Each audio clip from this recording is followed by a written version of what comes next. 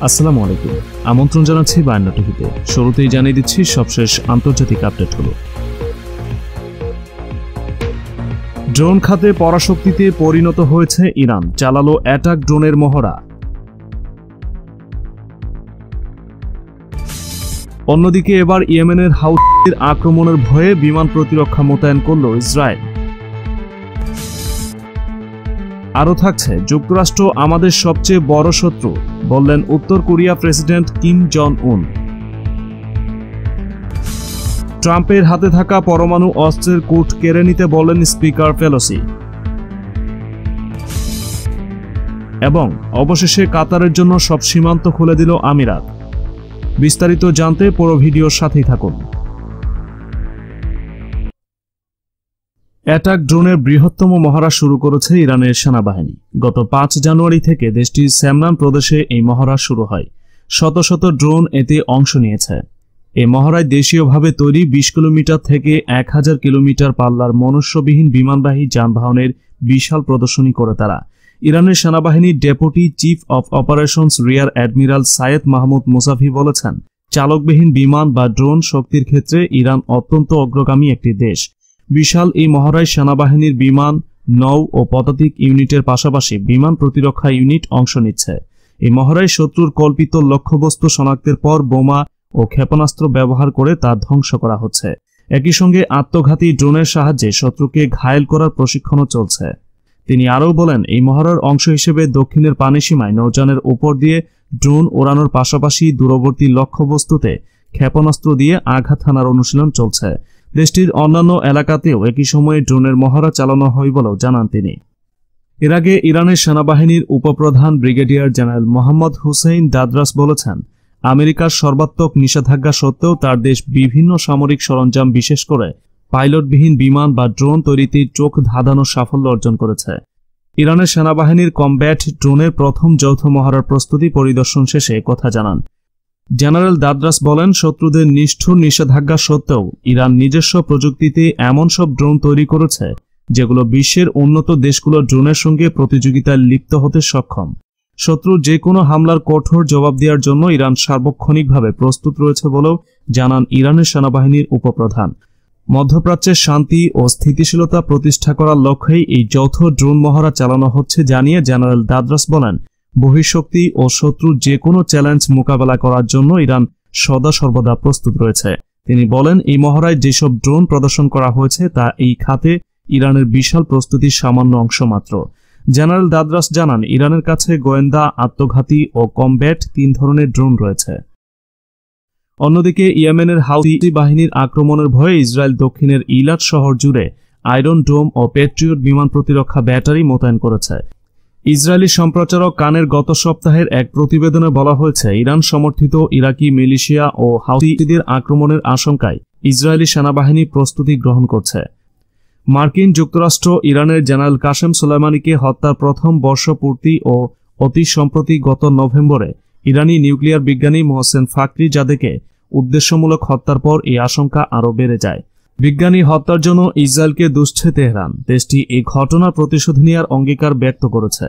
গত মাসে ইসরায়েলি সেনাবাহিনীর মুখপাত্র হিদাই জিলবারম্যান একটি সৌদি সংবাদ আউটলেটকে জানায়, ইসরায়েলি গোয়েন্দারা জানিয়েছে ইরান সরকার ইরাক ও ইয়েমেনে এমন ড্রোন ও স্মার্ট অস্ত্র প্রস্তুত করছে, যেগুলো ইসরায়েলে আঘাত হানতে সক্ষম। হাউতি আন্দোলনের নেতা সাইদ আব্দুল মালিক আল হাউতি সম্প্রতি ইসরায়েলে আঘাত হানার হুমকি দিয়েছেন। তিনি গত বছর আরব দেশগুলোর সাথে দখলদার ইসরায়েলের সম্পর্ক স্বাভাবিকীকরণের কট্টর সমালোচক।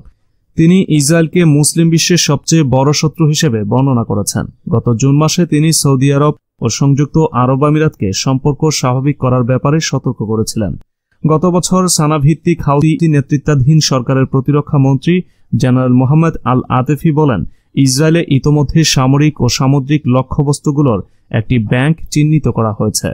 তিনি জোর দিয়ে বলেন, নেতৃত্ব যদি সিদ্ধান্ত নেয় আমরা তাদেরকে আক্রমণে দ্বিধা করব না।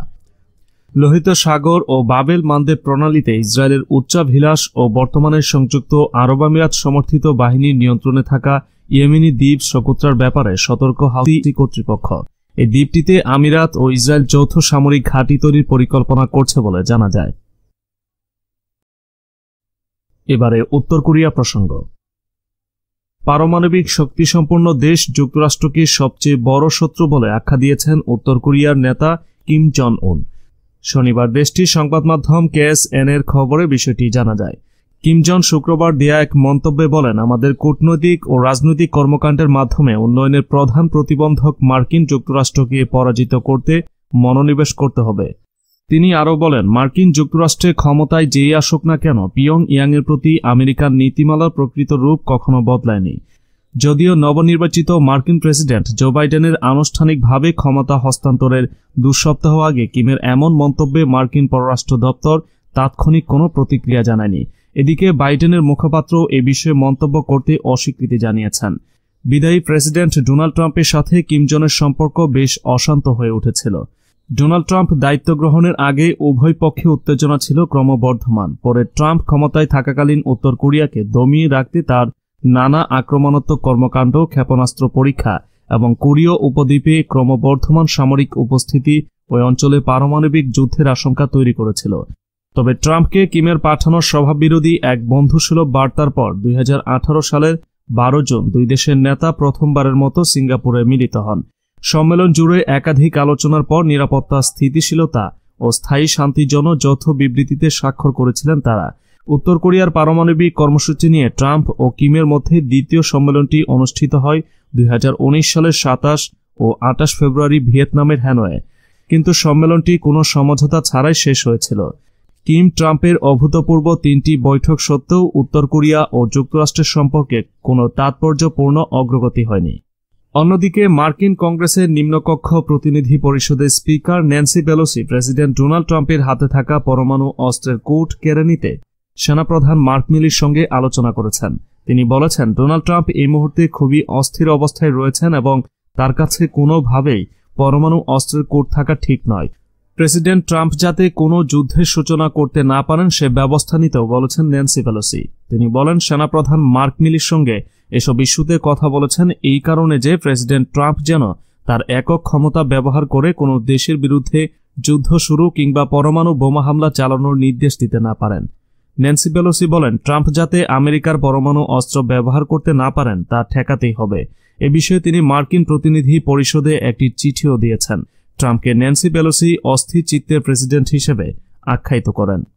মার্কিন প্রতিনিধি পরিষদের স্পিকার বলেন, এই অস্থির চিত্তের প্রেসিডেন্টকে আরও বিপজ্জনক হয়ে উঠতে দেয়া ঠিক হবে না। তিনি আলাদা এক বিবৃতিতে বলেছেন, প্রেসিডেন্ট ট্রাম্প যদি দ্রুত ও স্বেচ্ছায় ক্ষমতা ছেড়ে না দেন, তাহলে কংগ্রেস তাকে ইমপিচ করার প্রক্রিয়া শুরু করবে। সবশেষ, কাতার আমিরাত প্রসঙ্গ। কাতার সীমান্ত উন্মুক্ত করেছে সংযুক্ত আরব আমিরাত। টানা সাড়ে তিন বছর পর শনিবার থেকে জলস্থল আকাশ তিনটি পথই খুলে দিয়েছে। উপসাগরীয় দেশটি। শুক্রবার এক বিবৃতিতে আমিরাতের পররাষ্ট্র মন্ত্রণালয় সহকারী সচিব খালিদ আবদুল্লাহ বেলহুল বলেন, দুই হাজার সতেরো সালের পাঁচ জুন আরোপ করা অবরোধ প্রত্যাহারের বিষয়ে দ্বিপক্ষীয় আলোচনা চালিয়ে যাবে সংযুক্ত আরব আমিরাত। তিনি জানান, নয় জানুয়ারি থেকে জল, স্থল ও আকাশপথে আসা যাওয়ার জন্য সব সীমান্ত খুলে দিচ্ছে আমিরাত। ইতোমধ্যেই সংশ্লিষ্ট কর্তৃপক্ষগুলোকে এ বিষয়ে নির্দেশনা দেওয়া হয়েছে। এর আগে গত মঙ্গলবার সৌদি আরবের আলুলা শহরে উপসাগরীয় জোট জিসিসি সদস্য দেশগুলোর মধ্যে একটি সংহতি চুক্তি হয়। এর মাধ্যমে কাতার বিরুদ্ধ অবসানের দ্বার উন্মুক্ত হল বলে মনে করছেন বিশেষজ্ঞরা। চুক্তি অনুসারে কাতারের সঙ্গে সব ধরনের সীমান্ত খুলে দেবে অবরোধকারী চার দেশ, সৌদি আরব, বাহরাইন, আমিরাত ও মিশর। এর ফলে আঞ্চলিক যোগাযোগ আরও বৃদ্ধি পাবে এবং বাণিজ্যিক ফ্লাইট চলাচলেও সময় কমবে। এর আগে কুয়েতের মধ্যস্থতায় কাতারের জন্য সৌদি আরবের সীমান্ত খুলে দেওয়া হয়।